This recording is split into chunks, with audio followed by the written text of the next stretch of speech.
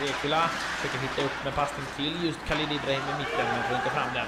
Fortsatt eh, och med pucken i anfallszon. Andersson skott i mål! Linus Andersson!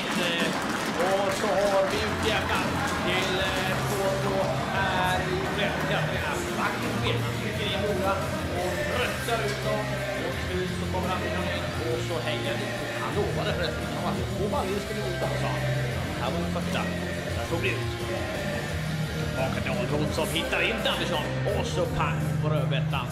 Så sitter den. Så en härlig målgest ifrån eh, Andersson.